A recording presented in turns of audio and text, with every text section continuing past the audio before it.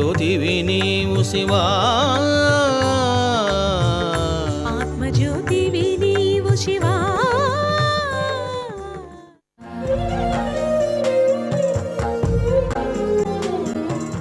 నేను చెప్పేటువంటి స్థితి ఎలాంటిదంటే ఏ విధంగా అయితే నొప్పి నిన్ను వేదన గురి చేస్తుందో అపారంగా ఉన్నదో ఘోరంగా ఉన్నదో దానికంటే కొన్ని శతకోట్ల రేట్ల ఎక్కువగా పరమానందాన్ని కనుక నువ్వు చవి చూశావా?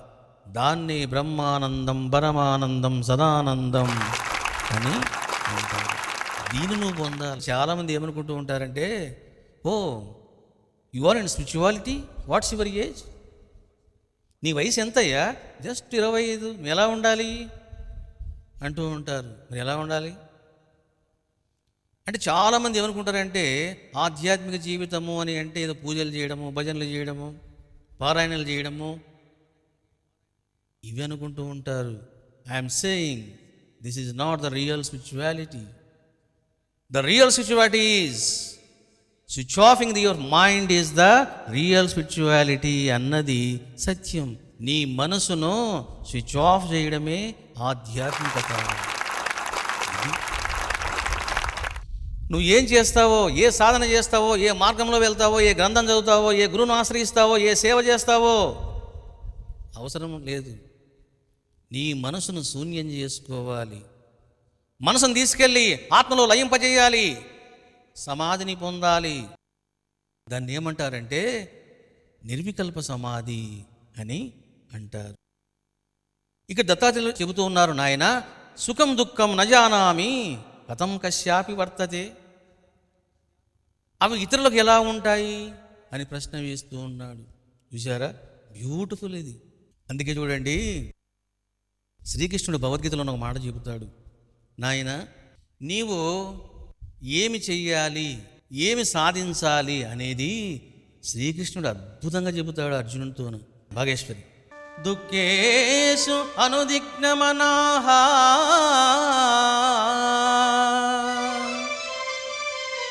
सुखेषु विगतसृहः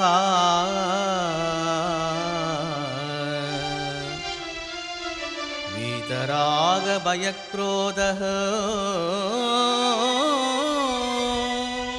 स्थितदेः मुनिरुच्यते।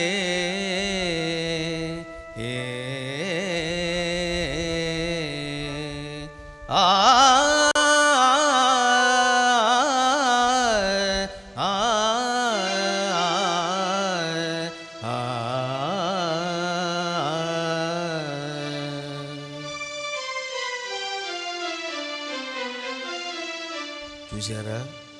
శ్రీకృష్ణుడు కూడా అర్జున నీవు ఒకటి సాధించాలి అంటున్నాడు. ఏం సాధించాలి? దుఃఖేషు అనుదిగ్నమనాహ.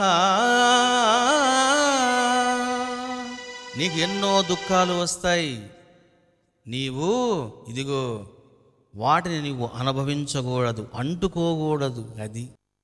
చాలామంది చూడండి నాయన ఎన్నో కష్టాలు వస్తుంటాయి నాయన ఓడ్చుకోవాలి ఆధ్యాత్మిక జీవితంలో ఎన్నో బాధలు వస్తూ ఉంటాయి. భరించాలి అంటుంటారు. దీన్ని మెట్ట వేదాంతము అంటారు. నిజమైనటువంటి జ్ఞానికి నిజమైనటువంటి యోగికి ఇదిగో భరించడం అనేది కాదు. బాగా అర్థం చేసుకోవాల్సింది ఏంటంటే దాన్ని అంటుకోకూడదు. అగ్ని ఏం చేస్తుంది? కాలుస్తుంది. నువ్వు అగ్ని సన్నిధిలో ఉండి ఆ వెచ్చదనాన్ని నువ్వు అనుభవించకూడదు అని అంటే ఏమైనా అర్థం ఉందా? దీన్ని పిచ్చి బోధలు అంటారు.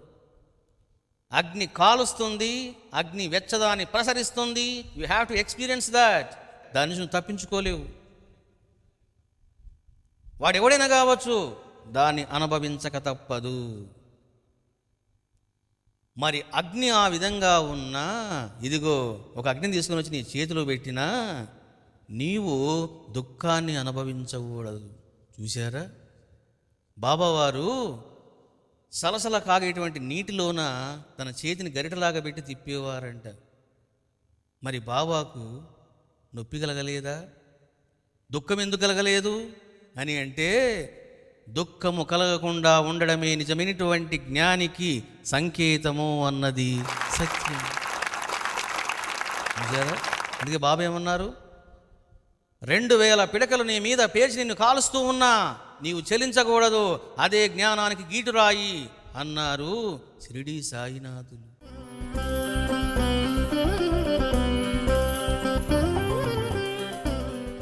కాబట్టి దుఃఖేసు అనుదిగ్నమనాహ. చూడండి మీకు ఇవాళ ఒక ఎక్స్పీరియన్స్ మీకు చెప్తాను. ఏడో తారీఖు నాడు పద్దెనిమిది ప్రతిష్టలు చేశాను. మార్నింగ్ సిక్స్ థర్టీకి స్టార్ట్ అయింది రాత్రి లెవెన్ థర్టీ అయింది. మరి శరీరం ఎలా ఉంటుంది? దేహం ఏ విధంగా అవుతుంది? ఆటోమేటిక్గా దానికి వేదన కలుగుతుంది. ఎయిత్ నాడు కంప్లీట్గా అభిషేకాలు హోమాలు ఒక నిమిషం కూడా ఖాళీ లేకుండా కూర్చొని ఉన్నాను. ఈరోజు థర్డ్ డే. ఈరోజు బ్రాహ్మణుడు హోమం చేస్తూ ఉన్నాడు. ఈరోజు మూడు రుద్రాలు మార్నింగ్ చేస్తూనే ఉన్నాం. ఏం జరిగింది రెండో రుద్రంకి వచ్చే లోపల? శరీర ధర్మం అది. కాళ్ళన్నీ కూడా నొప్పులు స్టార్ట్ అయినాయి. జోం పట్టాయి. కాలు అది వేదన అనుభవిస్తూ ఉన్నది. ఇంకా హోమము ఫార్టీ ఫైవ్ మినిట్స్ ఉంది. మరి ఎలా కూర్చొని చేస్తాం? వెంటనే ఏం చేశాను తెలిసిన ఇదిగో ఎప్పుడైతే దేహానికి ఆ నొప్పి తెలుస్తూ ఉందో వెంటనే ఇంకా ఊరుకోకూడదు. ఏం చేయాలా? కనీసం ఒక రెండు నిమిషాలైనా సరే మనసును తీసుకుని వెళ్ళి సమాధిలో ఉంచాలి. ఎప్పుడైతే సమాధిలో ఉంచుతామో ఫ్రెష్గా మళ్ళీ ఎలా ఉంటామో మళ్ళీ అలాగా ఉండేటువంటి శక్తి నీకు వస్తుంది. ఈరోజు నేను అదే చూశాను. మూడో రుద్రం స్టార్ట్ అయింది. నాకు అర్థమైంది. ఏమని? ఓహో దేహము భరించలేకపోతూ ఉన్నదని. ఏం జరిగింది? ఒక ఐదు నిమిషాలు సమాధిలోకి వెళ్ళాను. అంతే. మళ్ళీ ఆ ఉత్సాహం మళ్ళీ ఆ ఎనర్జీ ఎక్కడ కూడా ముఖంలో అలసట లేకపోవడం ఇవన్నీ మీకు తెలుస్తూ ఉంటాయి. చాలామంది అంటూ ఉంటారు మూడు రోజుల నుంచి ఒక నిమిషం కాలు లేకుండా ఆ స్వామి తిరుగుతూ ఉన్నాడు. ఎక్కడ ముఖంలో అసలు అలసట లేదే? ఏమిటండి ఆశ్చర్యం? అంటూ ఉంటారు. అది ఆశ్చర్యం కాదు అది అనుభూతిలో నిలబడము.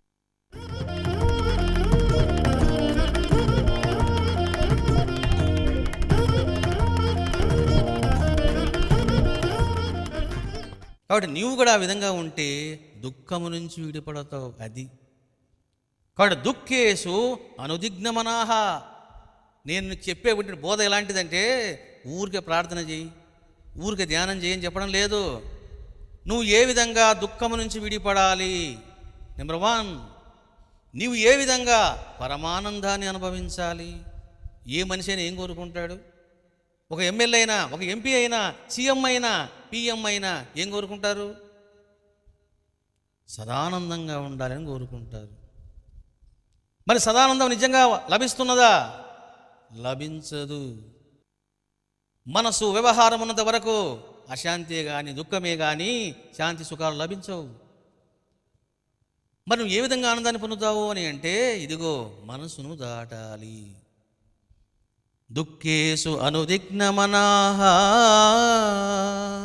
నాయనా దుఃఖము నుంచి నీవు తప్పించుకోవాలి. సుఖేసు విగతస్పృహ. చూసారా ఇప్పుడు నేను మీకు ఒక మంచి స్వీట్ ఇచ్చాను. నువ్వు దాన్ని తింటావు.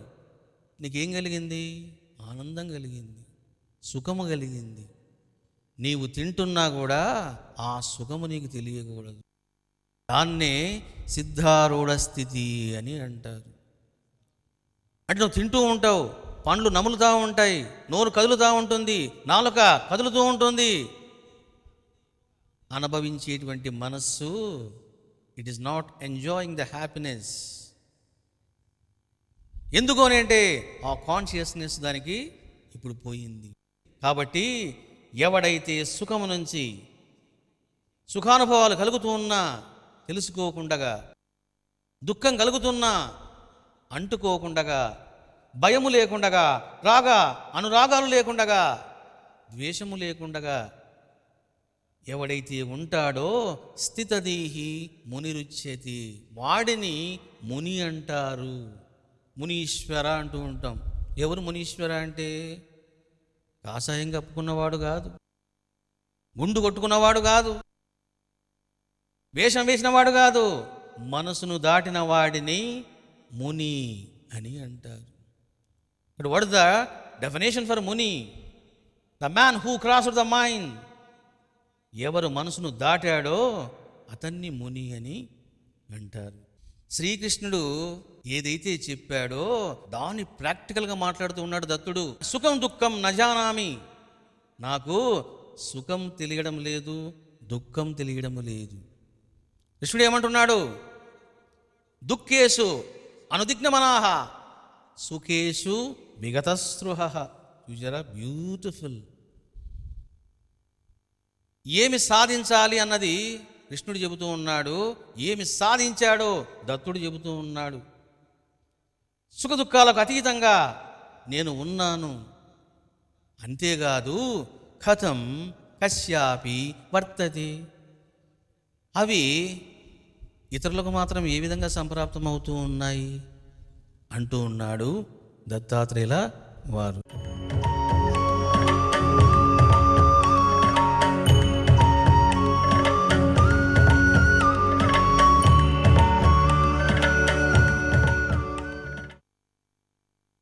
ఆత్మస్వరూపులారా శివరాత్రి సందర్భంగా ఈరోజు మనము తత్వజ్ఞాన ప్రవచనాన్ని శ్రవణం చేశాం. శివుడంటే బాహ్యములో లేడు. శివుడు అంటే ఎవరో కాదు శివుడంటే నీవే. చరాచర ప్రపంచాన్ని వ్యాపించినటువంటి ఆ శివుడు నీలోనే ఉన్నాడు.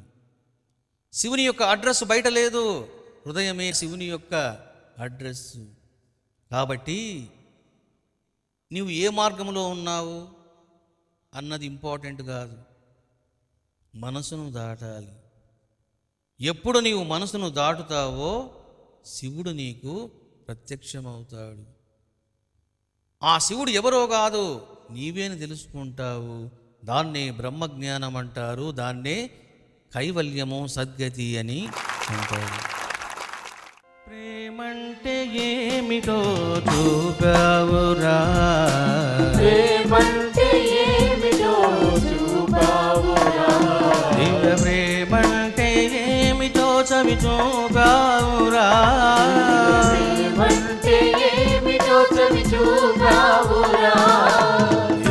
యోగులకైనా దొరకునా నీ ప్రేమామృతం?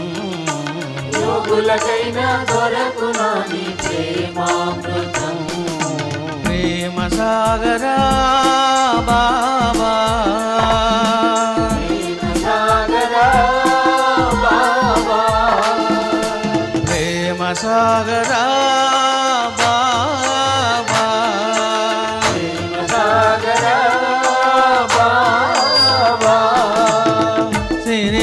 साय देवरा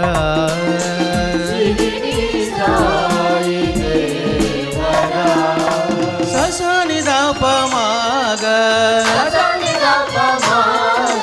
मृगमणि दप मृगमणि दप पाप मप मग पाप मप मग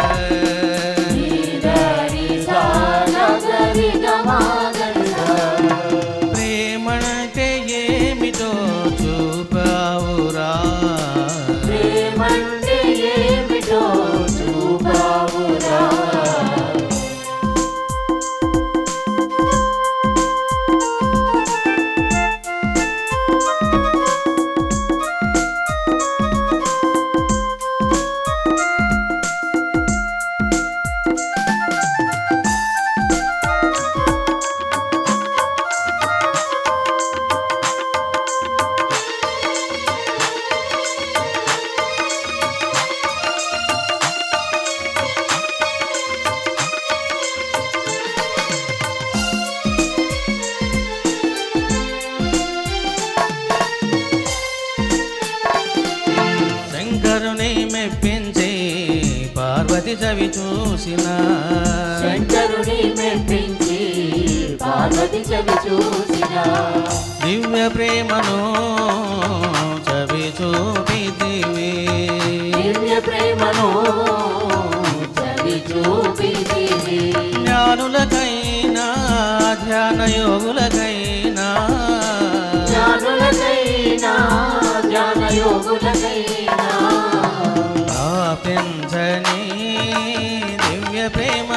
लिवी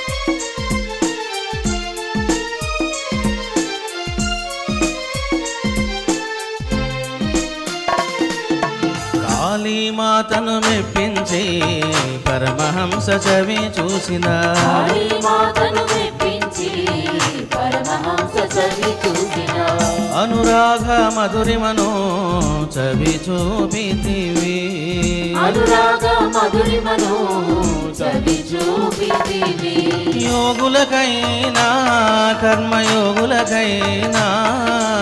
యోగులకైనా కర్మయోగులకైనా.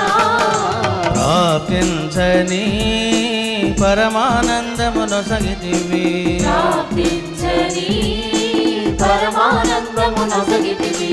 సాయి దేవరా షిరిడి దేవరా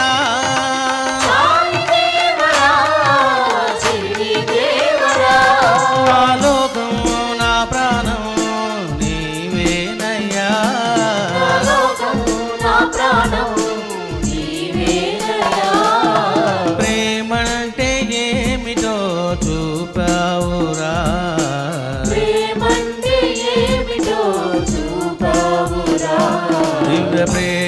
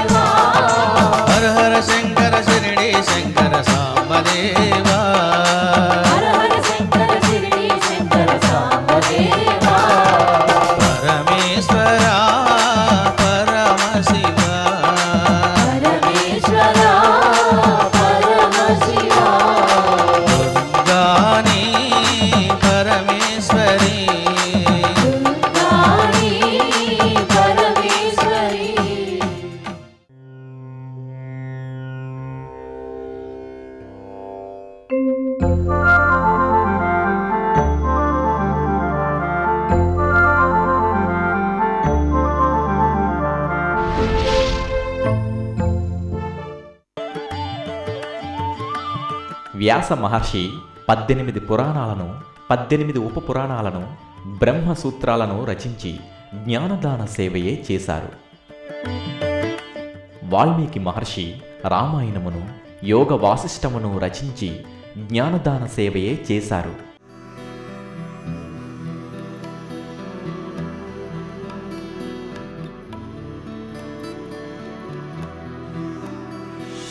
తత్వదర్శి శక్తిపాత సిద్ధ యోగీశ్వరులు శివశక్తి షిరుడీ సాయి అనుగ్రహ మహాపీఠాధిపతి సిద్ధగురు శ్రీ రమణానంద మహర్షి వారి ఆధ్వర్యంలో పరమశివుడి అపార కృపను పొందే అద్భుత అపూర్వ మహాసేవ ఒకే రోజున మిలియన్ గ్రంథాల ఉచిత వితరణ.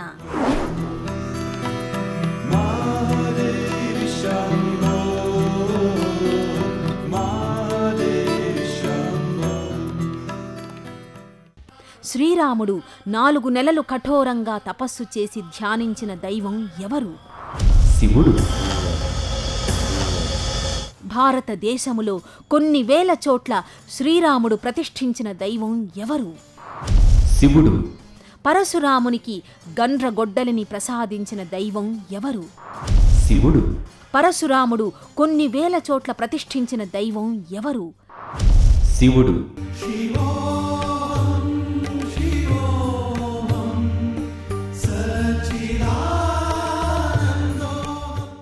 రెండు వేల పద్నాలుగు జూన్ ఇరవై తొమ్మిది సుదినాన ఒకే రోజున నాలుగు వందల యాభై ఆరు పేజీల మిలియన్ గ్రంథాల ఉచిత వితరణ మహాసేవలో గ్రంథదాతలుగా పాల్గొనండి.